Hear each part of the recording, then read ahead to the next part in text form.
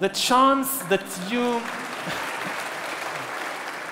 the chance that you will die from eating too much at McDonald's is about a thousand times higher, and this is not an exaggeration, this is statistics. It's about a thousand times higher than the chance you'll be killed by some Islamic State terrorism attack.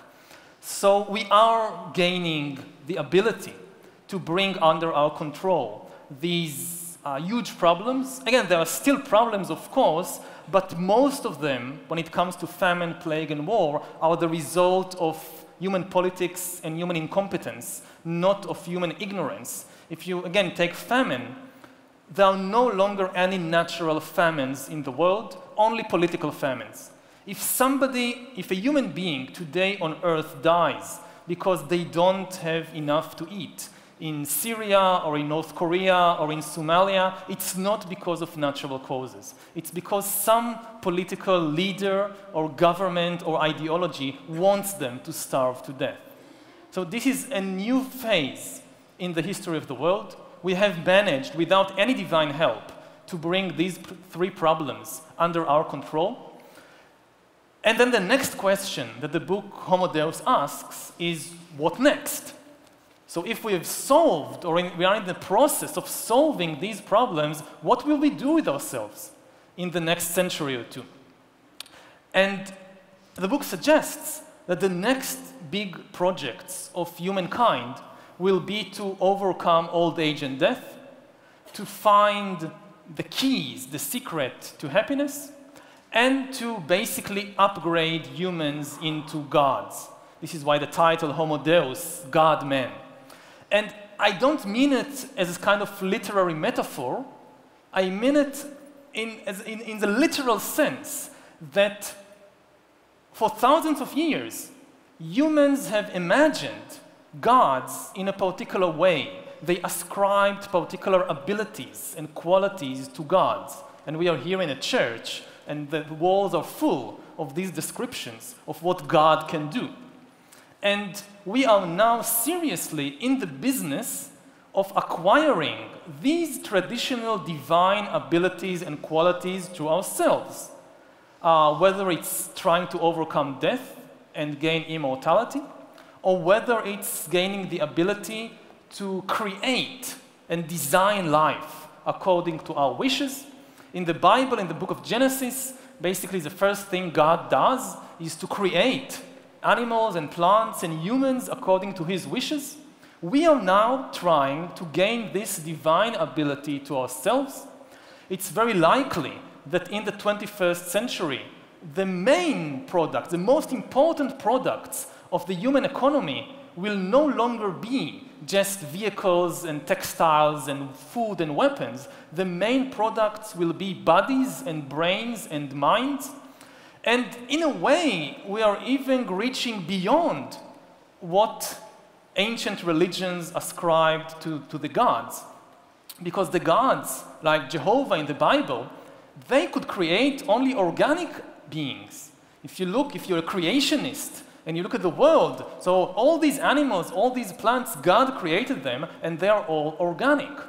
Now humans are trying to do better than that. We will not just gain the ability to create these organic beings that's been around for 4 billion years, we are in the process of learning how to create the, the first inorganic entities, inorganic beings uh, like artificial intelligence uh, that ever existed. So in this sense, it's, it's, it's a literal claim that humans are trying to upgrade themselves into gods. Now, in order to do that, we'll have to turn our gaze from the world outside to the world inside. Uh, the huge achievements of humankind in the past, especially the overcoming of war and famine, have been the result of humans gaining mastery over the world outside, over the environment.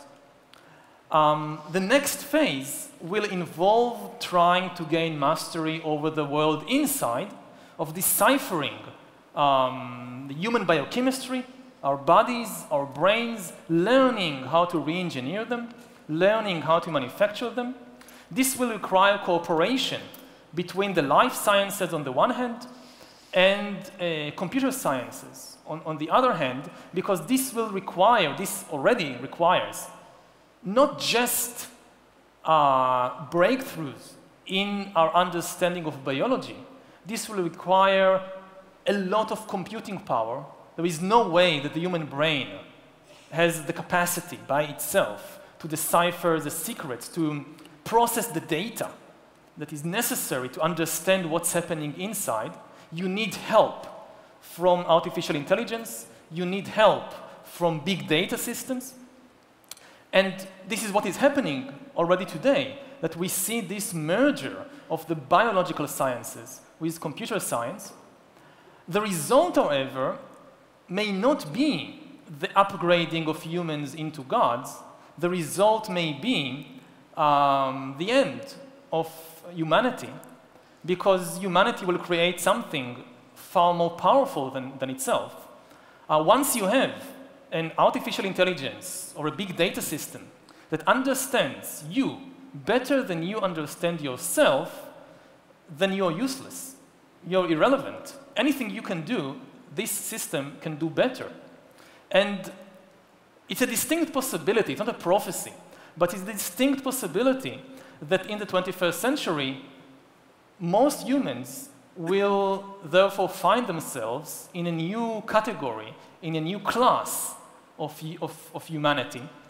Just as in the 19th century, the Industrial Revolution created a new massive class of the urban working class, the proletariat. And much of the political and social history of the 19th and 20th century revolved around this new working class. So the 21st century will create a new massive class of useless people, the useless class. And maybe much of the social and political history of the 21st century revolve, will revolve around the problems and the hopes and the fears of this new massive useless class. So these are just some of the, a short outline of might, some of the main ideas of I might go back to predicting inflation in three months uh, shortly, but yeah. okay, there's such a huge amount of, of ideas there, but I, I, just wanted to kind of just rewind slightly before yes. we go into all these issues about um, this new class of, of, of, of, human being, or however we might describe it.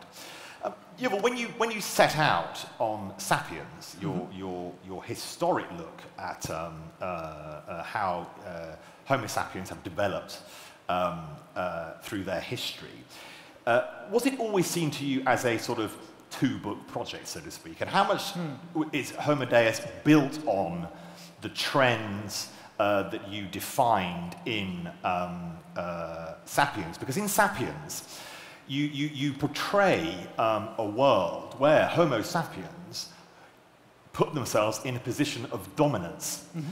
And uh, at least part of your argument for Homo Deus appears to be that this new supercategory of human being, Homo Deus, will put itself in a dominant position given how Homo sapiens have behaved in the past. And you make some links, for example, in the way that Homo sapiens um, deal with animal husbandry, mm. or don't deal with animal husbandry, to be, to be frank. What are the lessons from Sapiens that you drew out and built into the Homo Deus uh, mm. work? Well, first of all, uh, when I started Sapiens, I had no idea I will even have one book, uh, let alone two. Um, Homo Deus is a direct continuation of, Homo Sa of, of Sapiens, but it really kind of wrote itself because I was giving all these interviews and all these talks, and I'm an historian, I really like the past, but the vast majority of the questions were about the future. Like people say, okay, the, the past, but what will happen now that we, you told us about these 70,000 years? What will happen next? So these were, were most of the questions and most of the requests for interviews and, and talks uh, wanted me to speculate about the future. So from interview to interview and article to article, uh, Homo Deus started uh, to take shape. And it is definitely built on the foundations, on the ideas of, uh, of Sapiens.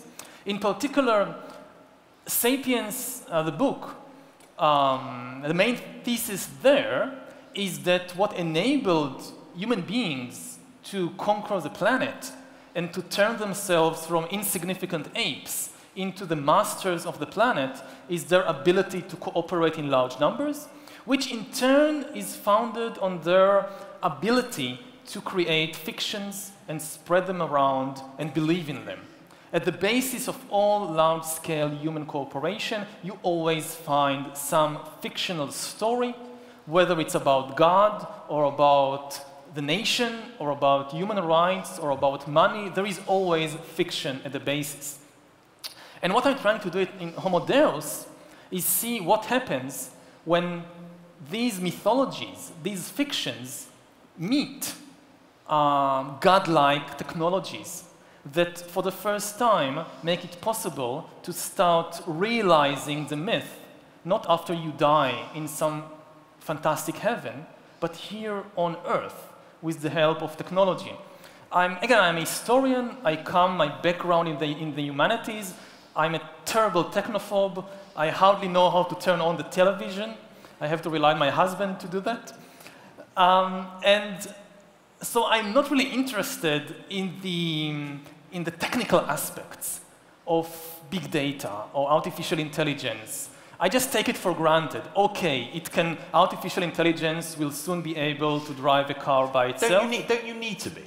Don't you need to be? Some people in the AI market or mm. in, in AI research would maybe argue that the problem with interlopers coming in who don't know about technology and not quite sure how to turn the TV on is that how can they make sensible predictions about what AI may or may not do for human beings and to human beings, I think more mm -hmm. importantly, uh, that that's a problem hmm. for, for a historian to come in and make such big, bold predictions on an hmm. area that they're not actually specifically um, expert in. Well, I rely on the experts, and what is interesting, what is vital for me is to try and understand from the experts what is or isn't possible to do with these kinds of technologies. How is not within my field of expertise. And if you try to cover everything, it's impossible. You have to give up something. I think most of the people who are very interested in the future of technology, they are experts in technology, so they understand uh, these technical aspects of biotechnology or genetic engineering or artificial intelligence. But for me, the most interesting questions are not the technical ones, they are the political ones, the economic ones, the philosophical ones. And how can you make sense of what artificial intelligence would do to the economy or would do to religion if you don't have uh, the necessary background in philosophy, in history? Um, I think this is much more important um, to take an analogy from a past uh, technology, nuclear weapons, you don't really need to know how a nuclear bomb works. Maybe there is a demon inside. How, what do I care? I mean, what is important for me is that this device somehow, don't ask me how, this device I know can obliterate a city and kill hundreds of thousands of people in a minute. This is important to know. How, and, and this, building on that, you can start thinking about what this kind of weapon might mean for geopolitics or for religion. How does it work is not so important.